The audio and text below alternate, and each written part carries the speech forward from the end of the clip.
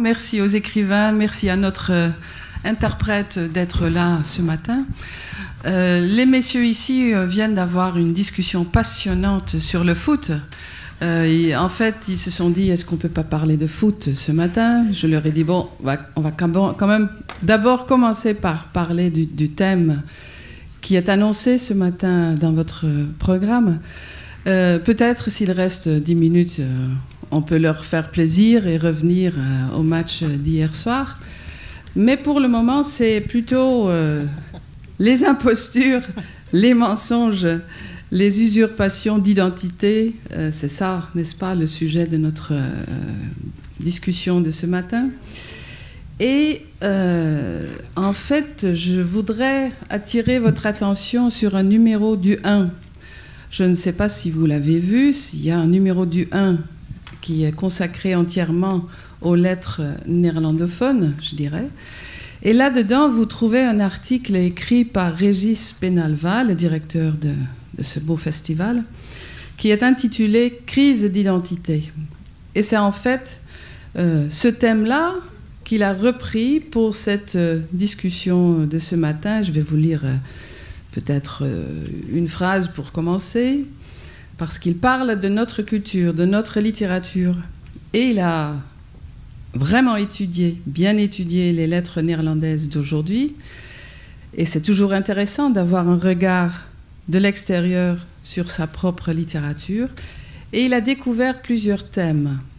Et voilà un des thèmes qu'il a découvert dans notre littérature. Un motif obsédant semble toutefois hanter la fiction de langue néerlandaise celui de l'identité et de ses masques. Plusieurs romanciers ont récemment donné vie à des figures d'imposteurs. Et voilà les écrivains dont il parle. Donc voilà le thème de ce matin. Et puis il continue un tout petit peu plus loin. On ne compte plus ces dernières années les récits centrés autour de femmes et d'hommes en crise, au bord de l'effondrement psychologique ce désarroi intime qui frappe les, personnages de plusieurs romans vaut moins comme symptôme individuel que comme signe d'un profond malaise culturel. Derrière la façade, messieurs, derrière la façade d'une réussite pleine et entière, les personnages principaux cachent d'inquiétantes lézardes intérieures, nourrissent névroses et troubles de la personnalité. Heb je het kunnen volgen? Ja. Alors, on va en parler avec nos trois invités de ce matin. Herman Koch euh, au milieu, euh, auteur de plusieurs livres, Le Dîner. Qui a lu euh, Le Dîner ici? Voilà. Qui a lu son dernier livre, Cher Monsieur M, déjà? Beaucoup moins de gens, donc il reste des gens à attirer, euh, même pour vous, Herman Koch. Euh, à côté euh, de notre interprète Marie-Caroline Van Zechelen, vous voyez Peter Terrin, qui est un écrivain de. Ben, ben, écrivain flamand, disons, ça n'a rien à voir, mais bon, puisque les autres sont néerlandais, pourquoi pas le dire. Auteur de théâtre, de romans, de nouvelles. Vous avez ben, votre livre le plus récent, c'est Monte Carlo chez Actes Sud. Euh, traduit par Guy Rorik dans la belle collection des lettres néerlandaises euh, sous la direction de, Philippe Noble. Euh, pour Hermann Koch, évidemment, c'est Isabelle Rosselin qui vous a traduit, qui a traduit également Cher Monsieur M, un livre satirique, drôle, intelligent, qui est traduit dans le monde entier, formidable. Et à côté de moi, Jos de Vries, qui est non seulement écrivain de plusieurs romans, trois pour le moment, mais qui est également critique euh, au Groene Amsterdammer, disons notre euh, Nouvel Ops, peut-être, et dont le dernier livre traduit s'appelle L'héritier, traduit par Emmanuel Sandron et publié chez Plomb il y a euh, un an. Voilà un peu les, les présentations rapides. Euh, pour commencer dans de, ce thème, euh, messieurs, je vous prie de réagir les uns aux autres. Je ne suis pas maîtresse d'école de, profession, je ne souhaite pas le devenir. Donc, euh, sentez-vous libre de, prendre la parole. Euh, chez nous, on dit souvent les écrivains mentent la réalité, n'est-ce pas? Est-ce que c'est quelque chose qui, qui vous parle hein? Dans beaucoup de vos livres, il y a plein de mensonges, effectivement, il y a des impostures. Mais d'autre part, on peut se dire, est-ce que les écrivains ne mentent pas toujours? Et mentent-ils ne pas toujours justement le réel, la réalité? Liegen schrijvers niet de waarheid? Is dat niet altijd het Dat is een heel mooi gezegd. Oui, c'est très bien dit. C'est très joli. Euh, J'aime bien être ce côté de l'imposteur parce que souvent quand je me mets derrière mon ordinateur et que je me mets à écrire, j'ai l'impression que, puisqu'en plus la plupart de mes livres sont écrits à la première personne, j'ai l'impression de mettre un masque, de me mettre dans la peau de quelqu'un d'autre, de jouer un rôle et de commencer à raconter l'histoire de quelqu'un d'autre. Donc oui, il y a l'imposture là-dedans. Dus het is ook een soort veilig gevoel je verstopt je ergens anders. Est-ce que c'est un sentiment de, de, de, se sentir, euh, de se sentir en sécurité d'une certaine manière? Oui, d'une certaine manière, peut-être sur papier, on ose aller beaucoup plus loin. On a plus de courage, on est plus audacieux, on peut être plus méchant, plus marrant, euh, peut-être, mais en tout cas, on devient plus extrême dans nos émotions et dans nos expressions. En je durft je veel meer te laten gaan. Ik ben het er helemaal mee eens. Oui, je suis tout à fait d'accord. Et évidemment, on a plusieurs aspects quand on écrit. On, a plusieurs, on joue plusieurs rôles dans les différents livres. Euh, on a dans la vie aussi différents rôles. On peut être père, on peut être amant. Euh, Jusqu'à présent, j'ai publié une dizaine de livres. Et, je dois dire que quelque part, j'ai également peur que je vais tomber un jour, la vérité va se, se voir et que je vais être démasqué. Et qu'on va me dire, mais en fait, Peter, tu n'es pas du tout écrivain. En fait, oui, je suis tout à fait d'accord. Et moi aussi, j'ai peur d'être démasqué un jour. Mais je suis d'accord avec Joost que au moment où on s'assoit derrière son ordinateur, il faut vraiment changer, il faut appuyer sur le bouton et il faut se convaincre d'abord soi-même qu'on est écrivain. Et ensuite, on devient ce compteur, surtout quand le livre est écrit à la première personne. Mais d'abord, la prise de conscience, là, je m'assois, j'ai confiance en moi, je suis écrivain. On a toujours peur d'être démasqué.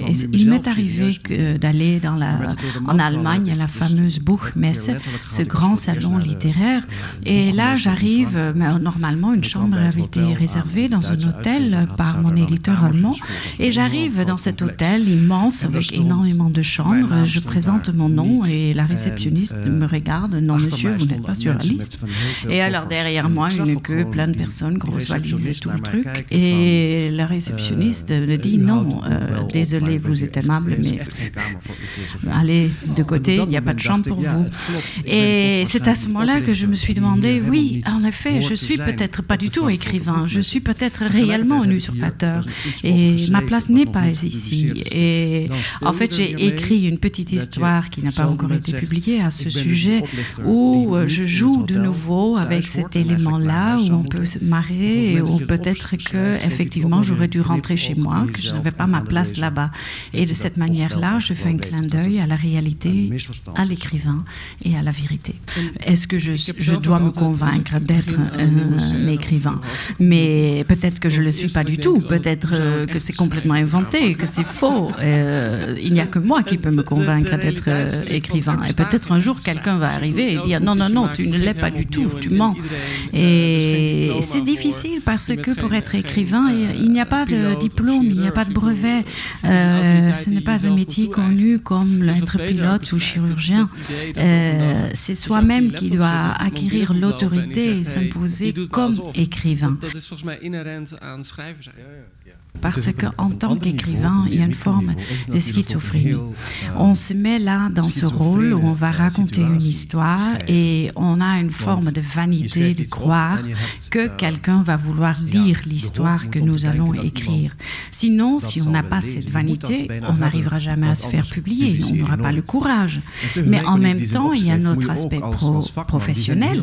En tant que professionnel, il faut remettre en doute immédiatement ce qu'on a écrit. Est-ce qu'on a bien choisi la bonne formulation Est-ce qu'on a trouvé les bons termes Donc on est constamment à la frontière et on balance entre à la fois se croire un génie et à la fois être un loser. Maar is het ook niet zo dat als je begint te schrijven, dat je dan ook jezelf op de, om maar even in voetbaltermen te blijven, op de stip legt? Je neemt toch een zeker risico ook. Je moet toch jezelf geven, en dan kun je daar wel een masker voor bedenken. Maar het is een roman of een boek is pas goed op moment dat er iets op het spel.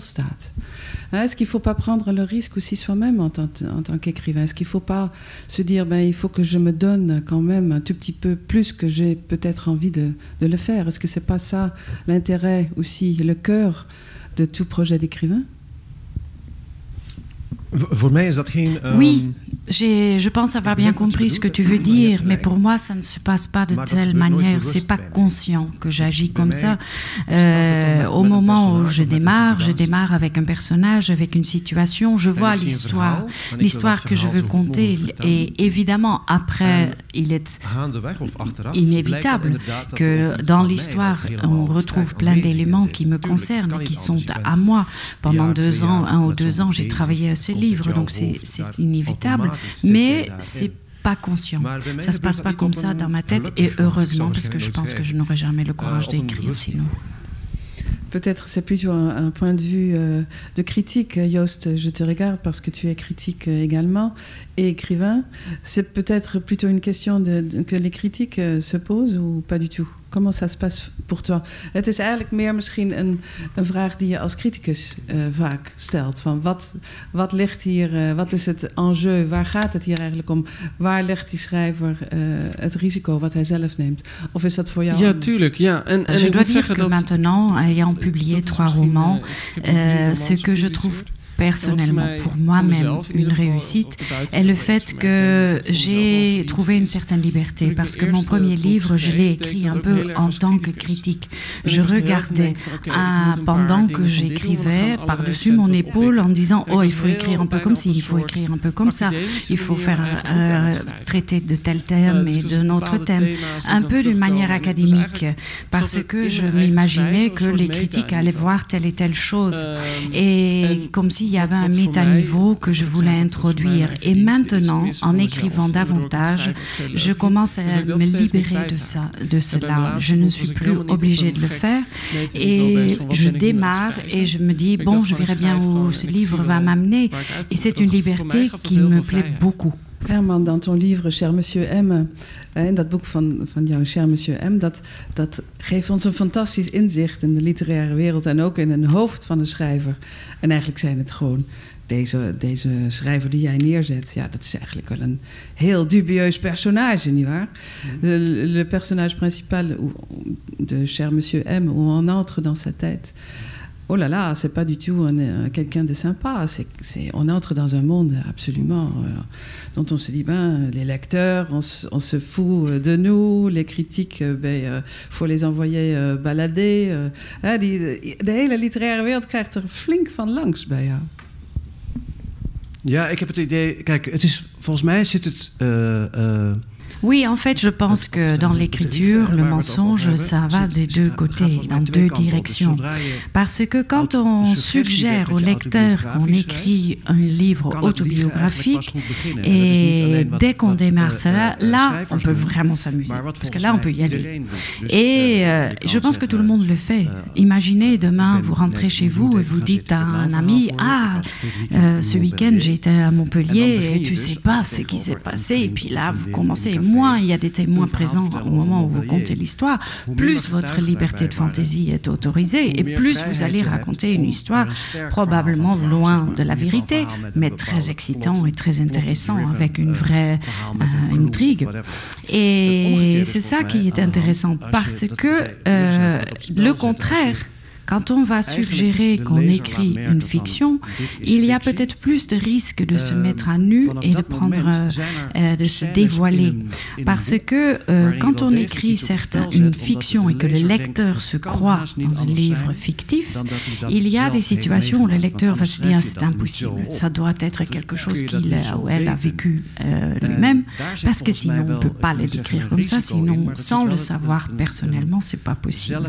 Donc c'est là où on prend un gros risque parce qu'on on se dévoile quelque part. Et si on regarde d'une manière et on écrit un livre assez critique sur le monde littéraire tel que ça a été fait dans Cher Monsieur M et qu'on critique les auteurs et le monde littéraire en soi, évidemment on tire aussi une balle vers soi-même. Et je me suis dit en écrivant ce livre, oula, là je me mets à nu, c'est dangereux ce que je fais, je prends un risque. Oui, c'est euh, moi-même, je n'écris jamais de livres autobiographiques, même si mes personnages peuvent avoir beaucoup d'aspects qui me concernent. Mais le monde que j'ai décrit n'est pas du tout mon monde. Mais je trouve et je considère toujours que c'est un des plus grands compliments qu'on peut recevoir quand un lecteur dit cette scène, tu as dû le vivre toi-même. Ce personnage doit exister dans la, dans la réalité. Et là, je me sens vraiment euh, très fort. Je suis content parce que euh, le lecteur va acheter un roman qui est du genre fictif, fiction, et en même temps, ce lecteur va chercher des éléments de vérité. C'est très intéressant. Peter, j'aimerais euh, aborder un peu plus ton livre Monte Carlo, qui euh, parle pas vraiment de l'imposture d'une certaine manière, mais d'autres choses. Uh, ik wil even met. Nou ja, je hebt het wel begrepen of niet? Ja, ja. Monte Carlo, il s'agit d'un mécanicien euh, anglais. Euh, ben, je ne vais pas raconter l'histoire, mais bon, euh, il, il, euh, il, a un moment où il tombe fulgureusement amoureux d'une jeune star de, de, cinéma. Il se trouve sur un Formule 1 race. Wat is dat nou weer? Grand Prix. Euh, dans, dans, il se trouve dans un, un, match de Grand Prix, donc il y a un, un, accident. Il protège la jeune star et ensuite, bon, euh, plus personne euh, ne le contacte, euh, ni la jeune star, ni les médias qui en parlent.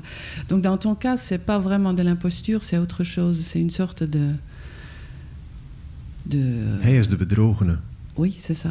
Est-ce que pour, tu pourrais parler un tout petit peu et peut-être présenter pour ton livre aussi, pour que les gens qui sont là, qui ne l'ont pas lu, le comprennent? Je dis juste la réaction était c'est lui qui a été euh, usurpé quelque part, c'est lui qui a été trompé. Ja, het gaat over. Um, en fait, l'histoire est un mécanicien, compte euh, l'histoire d'un mécanicien anglais, Jack Preston, qui travaille au Formule 1. Parce que ce Grand Prix, prix se passe en 1968, exactement jour pour jour, euh, il y a 50 ans. Donc malheureusement, je ne peux pas être présent pour le démarrage du Grand Prix euh, aujourd'hui. Et c'est l'histoire de ce mécanicien qui va protéger de son corps une euh, jeune starlette du cinéma qui s'appelle Lily. Et cette jeune euh, actrice espère rencontrer le prince régnier. Ça a été programmé en tant que tel. Et tout le monde dans l'audience euh, espère euh, les voir parce que ce sont les deux protagonistes de la rencontre de la journée. Et cette jeune fille, qui est très belle, mais très nonchalante et très très jeune, se déjoue du protocole et décide de passer voir le prince en passant par un autre chemin. Et au moment où elle passe près de la voiture où est Jack Preston, il y a une grosse explosion et lui se jette sur elle pour protéger son visage et du coup sa vie. Et ça me, ça, l'histoire, comme je vous ai dit, je joue en 68 et ça m'arrangeait parce qu'à l'époque, il n'y avait pas encore d'iPhone. Et tous les photographes officiels s'étaient déjà dirigés vers euh, le, le, la tribune euh, des, des, invités importants pour pouvoir euh, prendre des photos du moment suprême. Et finalement, personne n'a pris une photo du vrai sauveur de Lily. Et dans les médias plus tard apparaît l'histoire comme quoi c'est le bodyguard qui a protégé cette jeune actrice et que c'est pas du tout le mécanicien. Jacques Preston, en fait, est un homme très simple et très discret. Et son monde, il, quelque part à travers son travail, il se bat avec son identité. Parce qu'il vient d'un petit village anglais où les années 60 ne sont même pas apparues, alors qu'on est en 68. Et là, il travaille pour ce grand prix et découvre cet autre monde de grandes richesses, sans souci et beaucoup de luxe. Et en soi, il n'a pas un problème avec ça. Mais une fois que cet accident est arrivé, il est vraiment blessé et complètement défiguré par, par l'accident.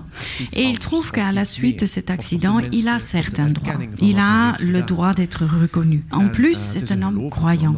Et là, il se sent, après ne recevant aucune reconnaissance d'avoir fait ce qu'il a fait, il se sent trompé non seulement par Lily, mais également par les médias et par Dieu. Et c'est cette lutte interne-là qui va l'amener et qui va dérouler l'histoire et qui permettra l'intrigue. En fait, c'est quelqu'un de très tragique. Hein. D'ailleurs, tu l'as écrit dans une très très belle langue, je trouve, dans des courts chapitres. Donc, bravo, c'est vraiment très bien, bien écrit, vraiment magnifique. Euh, et euh, j'ai eu vraiment pitié de ton personnage principal parce qu'effectivement, il perd tout. Il perd toutes ses illusions, il est trahi. Euh, mais qu'est-ce qui lui reste finalement? Pourquoi continuer à vivre? C'est à ce point-là presque. Hein. On le sent, on le sent vraiment tellement misérable après.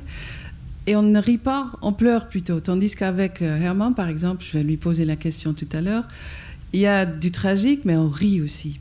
Tandis que pour toi, c'est vraiment, oh là là, il perd Dieu, il perd sa, sa foi, il perd tout. Ja, je hebt als schrijver heb je soms ook. Um, kijk, ik zou het soms oui, ook anders willen. Mais en tant qu'auteur, on n'a pas tellement le choix. J'aurais bien aimé um, que l'histoire se passe différemment. Mais une histoire se déroule commence à mener une propre vie et on sent dans quelle direction cette histoire doit évoluer. On ne peut pas l'arrêter. Et il y a une certaine dynamique qui s'installe et on est obligé de suivre cette dynamique. On dit que quand on écrit vraiment bien, on écrit plus, c'est à travers son corps que passe le message et qu'on est obligé de le noter. C'est peut-être un peu extrême. Je ne voudrais pas aller jusqu'à là, mais il y a une espèce d'évolution que l'histoire amène, on le sent et on doit aller dans cette direction. En je voelt dat je daar als schrijver gewoon in mee moet gaan, anders wordt dat geen goed verhaal. Et en ce qui me concerne, je ne trouve pas que l'histoire soit tellement tragique et sombre, euh, parce qu'il y a aussi un autre personnage, peut-être je vais un peu loin, mais un autre personnage qui est un jeune garçon nommé Ronnie, qui a un handicap mental, probablement le syndrome de euh, Down. Mais là, on sent que Dieu est bien intentionné et bienveillant et que ça se passe bien. Donc euh, oui, je, je pense qu'il y a aussi du bon là-dedans, dans l'histoire. Met, met, dat kind. Dus uh, ja, soms heb je geluk, soms niet. Herman, dans ton livre, le, cher, Monsieur M, comme je disais tout à l'heure, euh, euh, il y a du tragique aussi, mais aussi un certain suspense. Het is ook spannend, je wil weten, wat is dat nou voor een kerel? En en, en plus, il y a ce voisin, die, die buurman, hein, que tu donnes la parole. On est dans, en fait dans plusieurs têtes, hein, je zit in twee of meerdere hoofden. En eigenlijk is het vanaf het begin af aan het spel van wie is nou wie en wat is echt en wat is nou niet echt. Dat is heel knap gedaan en bovendien zit er nog humor in ook. Donc on entre tour à tour dans les têtes de différentes personnes. Euh, on se pose directement la question en, tant que lecteur qui ment ici, parce que c'est clair que le narrateur, on ne peut pas se fier à lui, les personnages principaux mentent, c'est clair. En plus, il y a une certaine sorte de, de suspense là-dedans. Euh, et on rit aussi. Pour moi, euh, je n'essaye pas d'élaborer une intrigue très compliquée pour arriver, pour démarrer le, le, le, livre. Je suis un peu comme dans les films de Hitchcock et McGovern qui, qui fait un petit, sauter un petit monnaie et regarde ce qui se passe. Je lance un élément dans mon livre et là, il s'agit au début du livre d'un professeur, d'un enseignant qui a disparu. Il y a eu quelques témoins et quelques personnes sont suspectes, mais on ne sait pas où est l'écrivain. Et même au point que moi, je suis surtout celui qui ne sait pas où est cet enseignant. Et au point où mes amis qui m'envoient parfois des messages avec qui j'échange un peu me demandent alors, tu l'as trouvé, ton écrivain, là, euh, ton enseignant? Et je me dis, là, vers la fin, ça commence à être euh, un peu angoissant parce qu'il faut que je trouve quand même une explication crédible.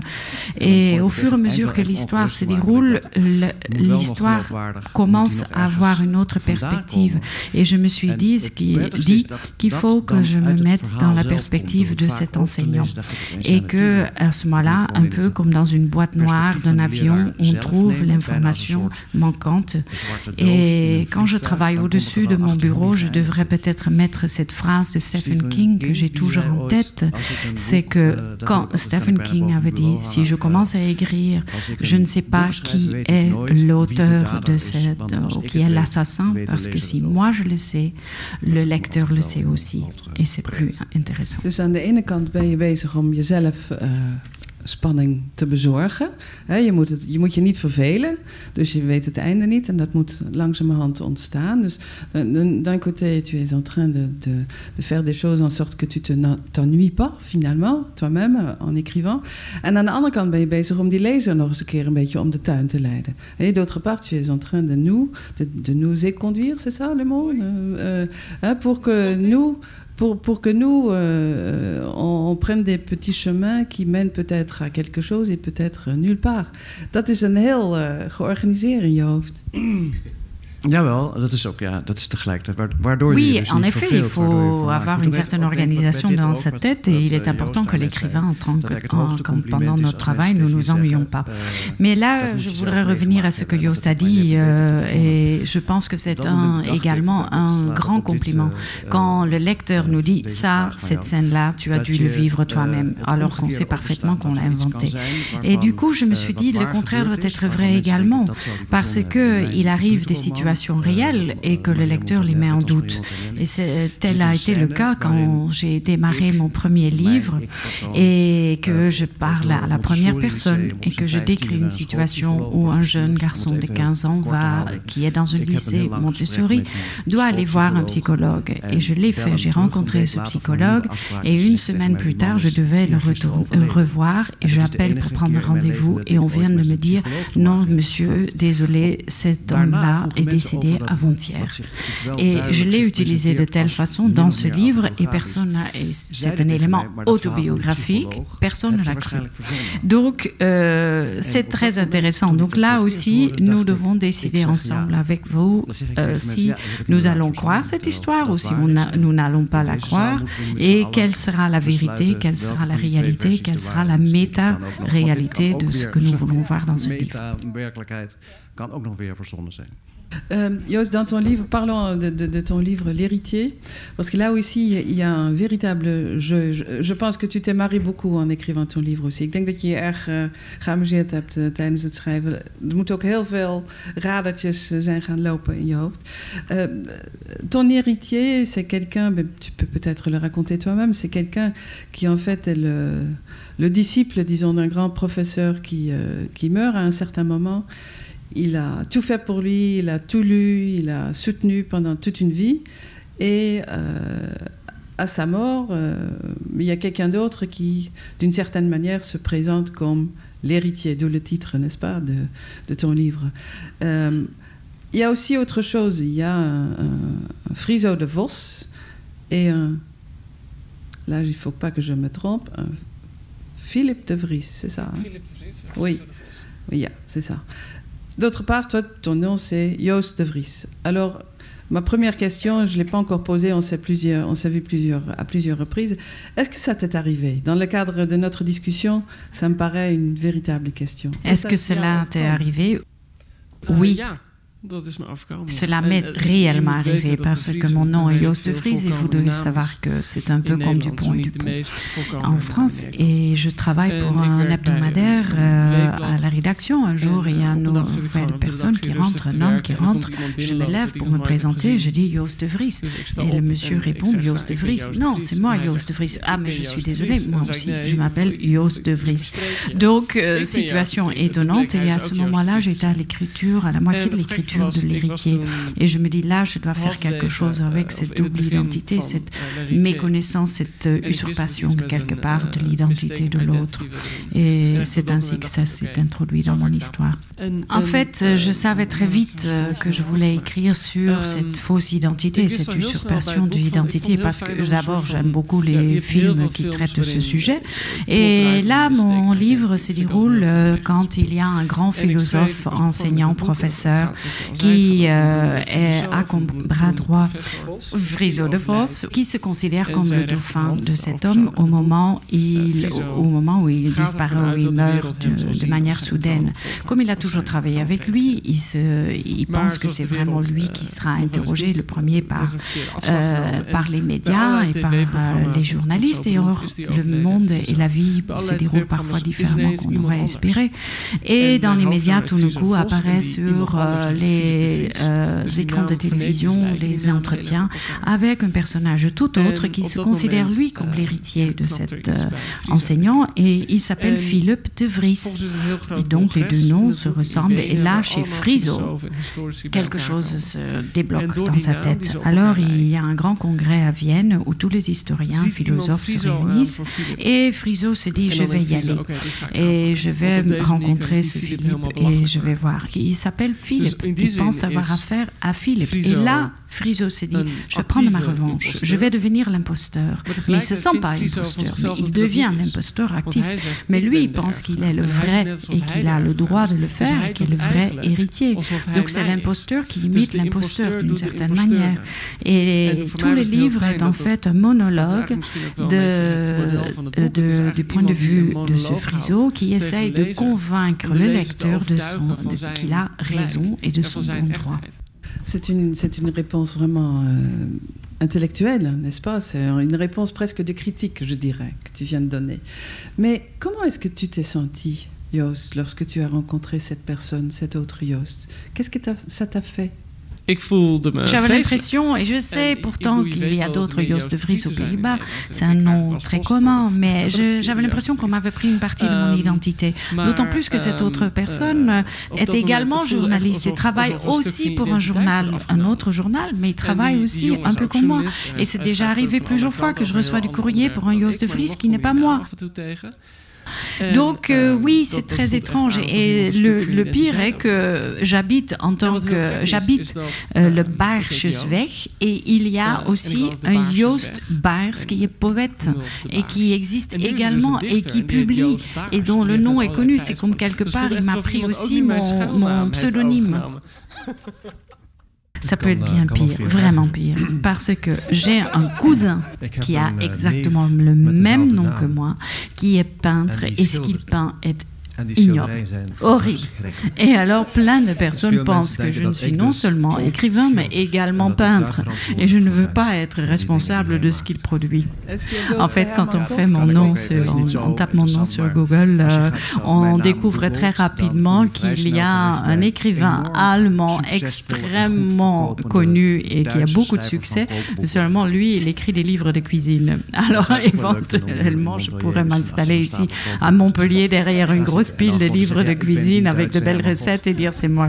On peut aller encore plus loin. Il y a un chanteur euh, de chansons euh, traditionnelles aux Pays-Bas qui s'appelle également Joost de Vries et qui vient de mon village et qui a un site web qui s'appelle bookjoost.nl.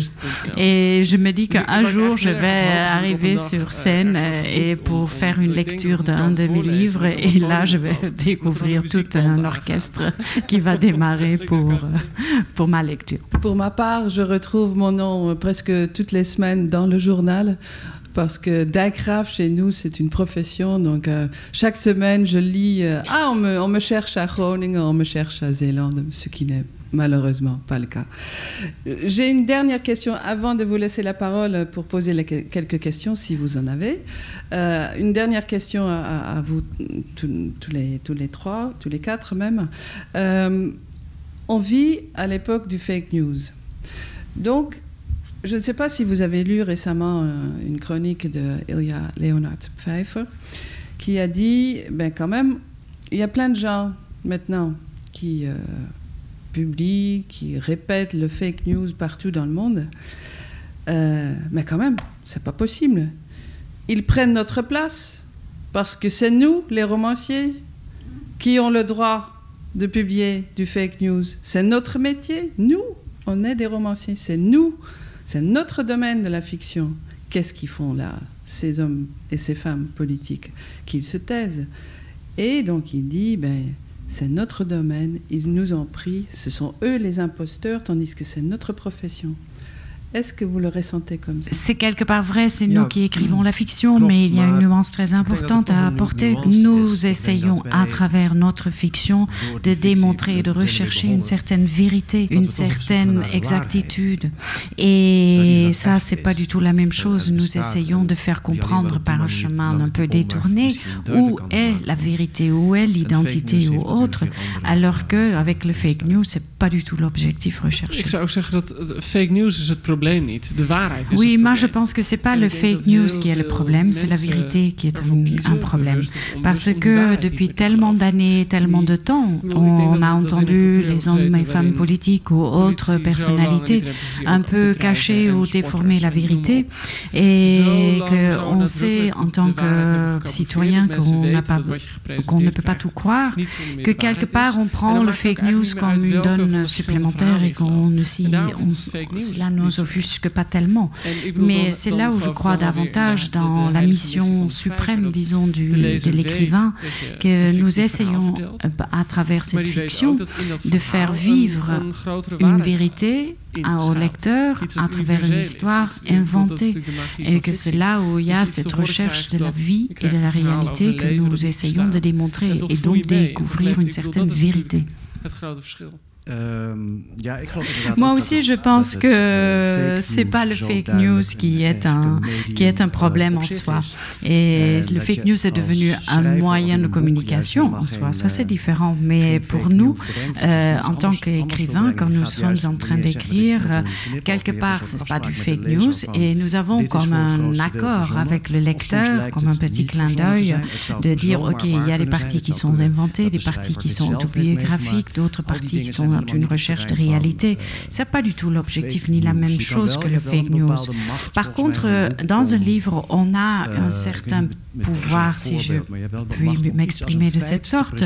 On peut par exemple faire paraître un certain fait comme une réalité, comme on pourrait écrire, comme dans le monde, on a lu que que certaines personnes ont plus de difficultés avec les maths, ou comme chacun sait, dans le monde animal, le règne animal, ça se passe comme ci, comme ça. Euh, ça, on peut le faire paraître comme une réalité. Et un autre exemple est par exemple dans le livre Le Dîner, il y a le conteur qui démarre une blague. Et il essaye de raconter et il dit alors, est-ce que vous savez pourquoi deux Chinois ne peuvent pas aller ensemble chez le coiffeur? Mais la discussion reprend de plus belle et les, les résultats de cette blague, on ne le saura jamais. Or, souvent, les lecteurs m'ont demandé, mais alors, en fait, c'est pourquoi là, les deux Chinois ne peuvent pas aller ensemble Et je ne le sais pas, je n'ai pas inventé la blague et je ne connais pas la réponse. Est-ce qu'il y a des questions dans la salle? N'hésitez pas. Oui, madame. Je lis énormément, je suis médusée de ne connaître aucune, aucun livre de la, votre littérature. Qu'en est-il, je m'adresse davantage aux critiques, qu'en est-il dans votre pays? Et quelle littérature a le plus de succès quelle, voilà, Comment ça fonctionne Parce que ça interpelle de voir que c'est un pays qui est très près et dont on ne connaît. Euh... Donc c'est en fait une question de savoir comment marche la, la littérature étrangère chez nous, c'est ça Um, om te beginnen lezen we allemaal Herman Koch. Uh, uh, évidemment, nous lisons tous Herman Koch. Ça, c'est évident. ik denk dat, dat um, Nederlandse literatuur... Mais nous sommes, notre pays, notre culture se dirige beaucoup vers le monde anglo-saxon. Donc on lit davantage des livres et on regarde davantage de films américains et des séries télévisées. Mais chaque année, il y a aussi des écrivains français qui sont traduits, comme entre autres Laurent Binet et les autres. Mais c'est vrai que, évidemment, nous lisons nos, nos écrivains néerlandais. Mais c'est vrai que c'est un monde, un pays où on est assez axé sur la culture anglo-saxonne. Oui, et si vous me permettez que je représente la Belgique, euh, nous avons euh, évidemment l'écrivain Amélie Nothomb et Jean-Philippe Toussaint, qui sont des Wallons et qui représente la langue française, disons. Mais en ce qui me concerne, c'est la même histoire. Je suis un écrivain flamand et je suis édité à Amsterdam. Et on pourrait dire que la frontière entre l'Europe du Nord et du Sud se passe, se trouve quelque part au milieu de la Belgique.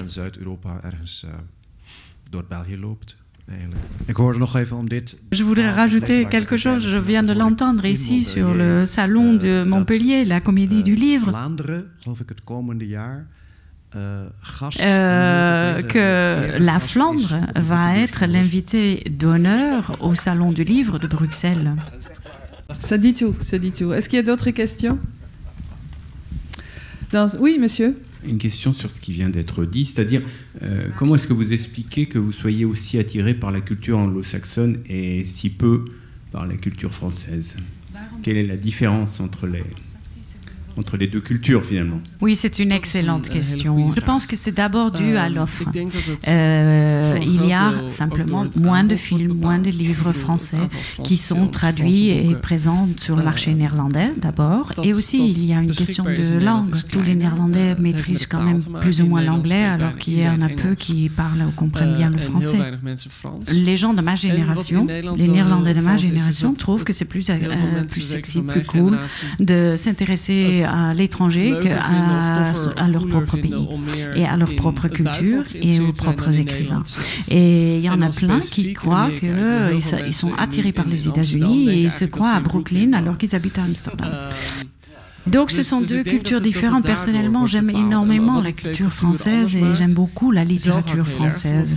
Et c'est peut-être un cliché que je vais dire, mais d'une certaine manière, la littérature américaine, euh, euh, l'important c'est l'histoire, alors que dans la littérature française, on attache une très grande importance au style. Madame. Une toute petite question qui fait suite à la vôtre. Est-ce qu'on pourrait euh, caractériser ou définir un petit peu la littérature euh, néerlandaise ou flamande? On parlait de style, on parlait de fond. Est-ce que, même si évidemment tous les auteurs sont différents, est-ce qu'il pourrait y avoir une tonalité, quelque chose qui pourrait réunir et, euh, un petit peu ces auteurs et les autres? Oui, je peux peut-être rapidement euh, répondre avant de vous donner la parole, évidemment, mais euh, ce que je, peux vous répondre ce qu'on m'a dit dans les derniers jours ici par les gens qui ont lu beaucoup, par exemple, Régis Penalva, dont je parlais déjà euh, au début de notre rencontre, qui a constaté qu'il y a en fait deux, deux lignes, deux fils rouges, disons. D'abord, une certaine littérature de l'intimité qui date de plusieurs décennies, qui datent même de Multatuli à la race jusqu'à Anna Enquist. Donc, euh, une grosse attention sur ce qui se passe à l'intérieur de quatre murs, disons ça, le, huis clos.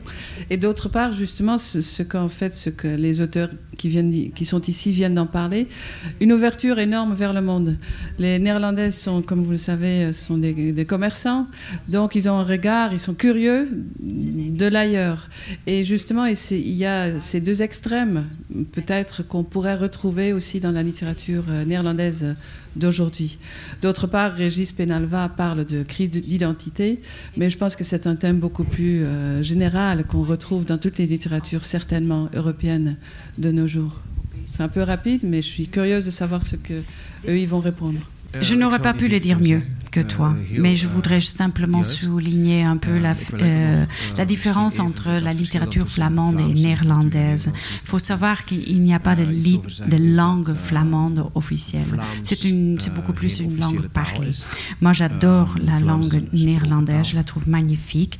Et on va voir beaucoup dans la littérature flamande peut-être un peu cette introduction de l'oralité de la langue. aussi, il serait d'accord qu'on peut retrouver ça dans certains, chez certains écrivains écrivains flamands. Euh, mais les Flamands ont beaucoup plus de difficultés avec certaines petites euh, phrases. Quand on dit par exemple aller chez le coiffeur ou au, coiffeur, ces erreurs-là se font beaucoup par les Flamands, alors que les Néerlandais croient qu'ils connaissent toujours la définition de chaque terme et là ils se trompent de temps en temps.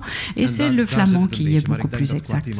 Les thèmes traités sont assez similaires dans les deux, dans les deux littératures et nous avons également une longue histoire partagée et l'histoire récente est une, une, histoire qui est un peu similaire en fait. Évidemment, la Flandre a été beaucoup plus imprégnée par le catholicisme et tous ces aspects néfastes et ça se retrouve beaucoup dans la littérature classique de notre pays. Ben uh,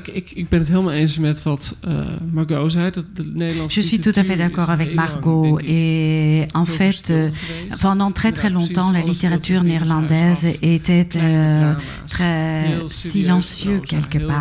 Était, il s'agissait de petits drames. C'était très sérieux, c'était très réaliste, c'était introverti. On décrivait des petits, petits conflits intérieurs. Or, depuis une dizaine à quinzaine d'années, euh, on voit que les écrivains se regardent, regardent davantage le monde autour d'eux et qu'ils sont beaucoup plus curieux vers ce qui se passe à l'extérieur. Ils sont moins axés sur eux-mêmes. Et quand vous allez voir tout à l'heure les écrivains qui vont signer, vous, vous, le verrez. Et on a toujours dit, et longtemps dit, que la littérature néerlandaise n'était pas une littérature engagée. Or, aujourd'hui, on voit davantage de jeunes écrivains qui se posent vraiment des grandes questions. Qu'est-ce l'amour? Qu'est-ce la morale Quelle société voulons-nous? euh, Et je pense que c'est vraiment une, intéressante, une période extrêmement intéressante. Pour moi, en tout cas, je la trouve euh, fabuleuse et je suis d'accord avec Peter. Je pense que pour nous, parfois, l'écriture flamande, on le trouve presque exotique aux Pays-Bas. Et c'est parce que les Flamands ont un vocabulaire beaucoup plus étendu, beaucoup plus baroque, des mots que nous avons oubliés, qu'ils arrivent à utiliser à justesse, juste euh, d'une manière juste. Merci énormément à vous, tous les trois écrivains. Et bien sûr, euh, Marie-Caroline, sinon, ça aurait été impossible de se comprendre. Merci, bonne journée et euh, choisissez d'autres écrivains. Merci énormément.